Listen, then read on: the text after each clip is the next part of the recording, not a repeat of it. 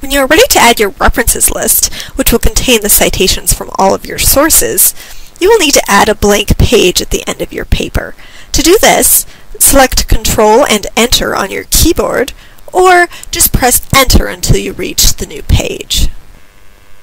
While the Word Citation Manager can help provide some guidelines for your citations, remember that it does not follow APA standards perfectly and will typically make several mistakes in your citations. Make sure to double check each citation alongside the Urban Library Citation Guide handout or the APA Style Manual. Once you are here, type References.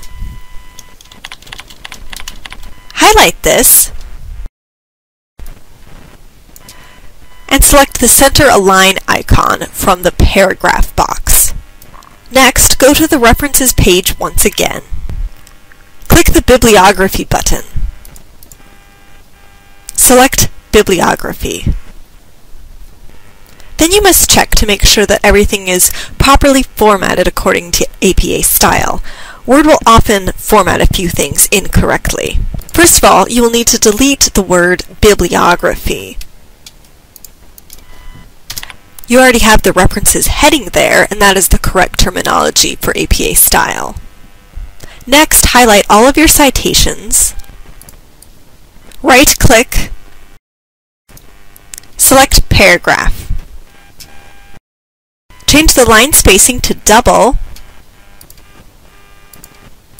change the before and after spacing to zero point,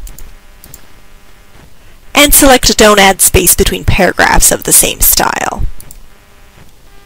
Then select OK. Lastly, look at each citation to make sure that it is properly formatted. For example, this first citation is not correctly formatted according to APA because the capitalization is incorrect. Once you have made all these corrections, your references list is complete.